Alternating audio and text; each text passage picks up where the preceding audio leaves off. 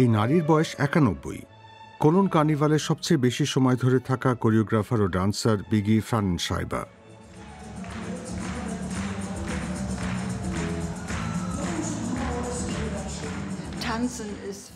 Dance আমার কাছে আত্মার ভাষা যখন একা থাকি তখনও ড্যান্স আমার সঙ্গে থাকে অনেক. ছোট বয়স থেকে এটা আমি করছি. কোলন কার্নিভালের অবিচ্ছেদ্য অংশ ডান্স আর ফুঙ্কেন মারিশন আর ফুঙ্কেন মারিশন মানি অ্যাক্রোব্যাটিক প্রদর্শনী। এক্ষেত্রে বিগি ফানেন সাইবারের অবদান সবচেয়ে বেশি। পাঁচ দশকের বেশি সময় ধরে তিনি এ বিষয়ে প্রশিক্ষণ দিয়ে আসছেন। উনিশশো সত্তরের দশকে তিনি ফুঙ্কেন মারিশনের বিখ্যাত ওপরে তুলে ধরা ও ছুঁড়ে মারার বিষয়টি চালু করেন। তারপর থেকে তাকে মারিশনের জননী হিসেবে বিবেচনা করা হয়.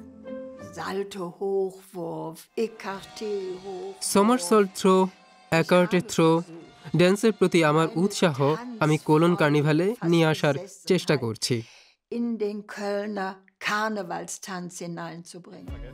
তিনি প্রশিক্ষণার্থীদের নিজে করে দেখান কীভাবে ঠিক ঠিকমতো নাচতে হবে যেমন এখানে লুফ মারিন ডান্স গ্রুপকে শেখাচ্ছেন পাটা ভালোভাবে বাঁকাতে হবে। ঠিক আছে এবার তোমার দাদিকে নিচে নামাতে পারো।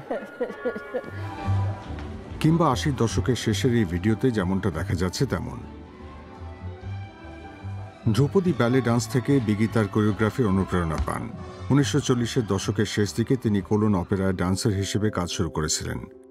উনিশশো সাতান্ন সালে দক্ষিণ জার্মানির ফ্রাইবুর্গের প্রিমা বালেরিনাও কাজ করেন বিগি উনিশশো ষাটের দশকের শেষ দিকে ইউরোপ আমেরিকা চষে বেরিয়েছেন, তবে শুরু থেকেই কার্নিভালের প্রতি তার ভালোবাসাটা ছিল।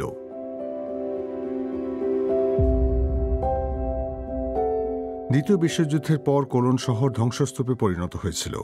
ওই অবস্থায় বিগি উনিশশো সাতচল্লিশ সালে বিধ্বস্ত কোলন অপেরার কাছে প্রতিদিন বিকেলে গৃহিণীদের নিয়ে নাচের আয়োজন করেছেন। এখন এই জায়গায় একটি হোটেল হয়েছে। আমাদের মতো কোলনের মানুষের কাছে ওটা সবচেয়ে সুন্দর জিনিস ছিল। কারণ ভয়াবহ সেই যুদ্ধের পর অবশেষে আমরা কার্নিভাল উদযাপন করতে পেরেছিলাম। আবার আনন্দ করতে পেরেছিলাম। গান গাইতে পেরেছিলাম। বন্ধুদের সঙ্গে দেখা করতে পেরেছিলাম। আমার মতো কোলনের মেয়ের কাছে কার্নিভাল হচ্ছে জীবনের পরশমণি। পেশাদার নৃত্যশিল্পী হিসেবে ক্যারিয়ার শেষ করার পর বিগি ফার্নেন্ড সাইবার পুরোপুরি কার্নিভালের সঙ্গে নিজেকে জড়িয়ে ফেলেন। কার্নিভালের সব ইভেন্ট এখনও পুরুষরা নিয়ন্ত্রণ করে থাকে।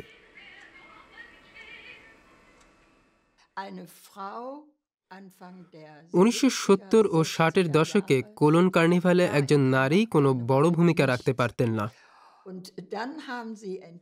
কিন্তু সেই সময় পুরুষেরা আবিষ্কার করেছিল নিজের প্রশংসা নিজে করতে চাই না। আমার গ্রুপ ভালো পারফরমেন্স করছিল. শৃঙ্খলা ও শক্তি ইচ্ছা এখনও বিগির চরিত্রের দুটি বৈশিষ্ট্য। এখনও প্রায় প্রতিদিন সুযোগ পেলে তিনি অনুশীলন করেন। আরেকবার মনে করিয়ে দিচ্ছি, তার বয়স কিন্তু একানব্বই।